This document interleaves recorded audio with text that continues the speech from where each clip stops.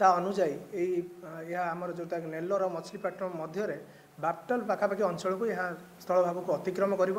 ବର୍ତ୍ତମାନ ସମ- ସମୟରେ ଯେ ଦେଖିବା ଯେଉଁ ସାଢ଼େ ଦଶଟାର ପର୍ଯ୍ୟବେକ୍ଷଣ ଥିଲା ତା ଅନୁଯାୟୀ ଆମର ପାଖାପାଖି ଅଙ୍ଗଲେଟ୍ ଠାରୁ ଏହା ପଚିଶ କିଲୋମିଟର ଦୂରରେ କେନ୍ଦ୍ରୀଭୂତ ରହିଛି ଏବଂ ଆମର ଯେଉଁଟା ବାପଟଲ ପାଖାପାଖି ଷାଠିଏ କିଲୋମିଟର ଦୂରରେ ଏହା କେନ୍ଦ୍ରୀଭୂତ ହୋଇଛି ଏବଂ ଗତ ଛଅ ଘଣ୍ଟାରେ ପାଖାପାଖି ଏଗାର କିଲୋମିଟର ବେଗରେ ଅଗ୍ରସର ହେଉଛି ଏବଂ ଅଗ୍ରସର ଯେତେବେଳେ ଅତିକ୍ରମ କରିବ ଉପକୂଳ ସେତେବେଳେ ଏହା ଭୀଷଣ ବାତ୍ୟାର ରୂପରେ ଥିବ ଏବଂ ପବନର ବେଗ ନବେରୁ ଶହେ କିଲୋମିଟର ସର୍ବାଧିକ ଶହେ ଦଶ କିଲୋମିଟର ବେଗରେ ଏହା ଅତିକ୍ରମ କରିବ ବୋଲି ସମ୍ଭାବନା ରହୁଛି। ତା ସହିତ ଆମେ ଯଦି ଦେଖିବା ମତ୍ସ୍ୟଜୀବୀମାନଙ୍କୁ ଓଡ଼ିଶାରେ ଖାସ କରିକି ଯେଉଁ ସମୁଦ୍ର ମଧ୍ୟରେ ଆସନ୍ତାକାଲି ପର୍ଯ୍ୟନ୍ତ ଛଅ ତାରିଖ ସକାଳ ପର୍ଯ୍ୟନ୍ତ ସମୁଦ୍ର ମଧ୍ୟକୁ ସମ୍ପୂର୍ଣ୍ଣ ଭାବେ ବାରଣ କରାଯାଇଛି ଏବଂ ଆଗାମୀ ଚବିଶ ଘଣ୍ଟା ପାଇଁ ଆମର ତିନି ଜିଲ୍ଲା ମାଲକାନଗିରି କୋରାପୁଟ ରାୟଗଡ଼ା ଏହି ତିନି ଜିଲ୍ଲାରେ ପ୍ରବଳରୁ ଅତି ପ୍ରବଳ ବର୍ଷା ସମ୍ଭାବନା ରହୁଛି। ତା ପାଇଁ ଅରେଞ୍ଜ ଆଲର୍ଟ ଜାରି କରାଯାଇଛି।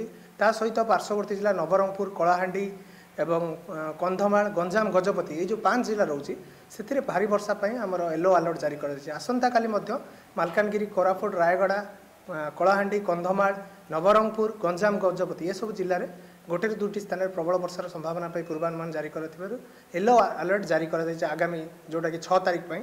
ତାପରେ ଆମର ଯେଉଁ ରହୁଛି ସାତ ତାରିଖରୁ ଧୀରେ ଧୀରେ ପାଗରେ ପରିବର୍ତ୍ତନ ହେବ।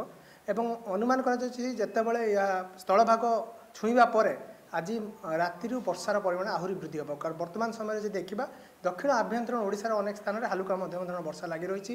କୋରାପୁଟ ଏବଂ ଆମର ଯେଉଁ ଅ, ରହୁଛି ମାଲକାନଗିରି ସେ ଜିଲ୍ଲା ଗୁଡ଼ିକରେ ମଧ୍ୟ ବର୍ଷାର ପ୍ରଭାବ ବର୍ତ୍ତମାନ ଦେଖିବାକୁ ମିଳୁଛି। ଏବଂ ଆମର ଗତ ଚବିଶ ଘଣ୍ଟାରେ ଯଦି ଦେଖିବା ଆମର ଅ, କିଛି କିଛି ସ୍ଥାନରେ ରାଜ୍ୟରେ ପାଖାପାଖି ଆମର ପଚିଶରୁ ପଚାଶ ପ୍ରତିଶତ ସ୍ଥାନରେ ବର୍ଷା ଆମର ଅନୁଭୂତ ହୋଇଛି।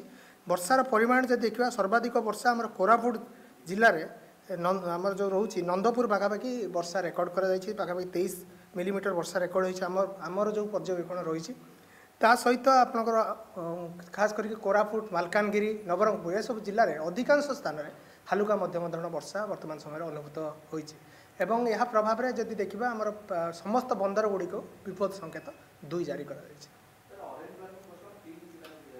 ହଁ କାରଣ ବର୍ତ୍ତମାନ ଯଦି ଦେଖିବା ଯେଉଁ ରହୁଛି ଆମର ଯେତେବେଳେ ଯେଉଁ ଅଗ୍ରସର ହେଉଛି ଉତ୍ତର ସମାନ୍ତର ଅଗ୍ରସର ହେଉଛି ତାର ମୁଖ୍ୟ ଭାବରେ ଉତ୍ତର ପଶ୍ଚିମ ଭାଗ ରହୁଛି ଅଂଶ ସେ ଅଞ୍ଚଳର ସର୍ବାଧିକ ବର୍ଷା ରହିଛି।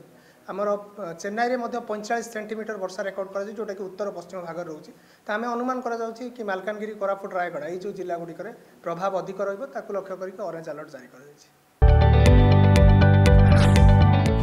जदि आपंक आम भिडी भल लगा तेब आम चेल्क को लाइक सेयार और सब्सक्राइब करने को जमा भी भूलु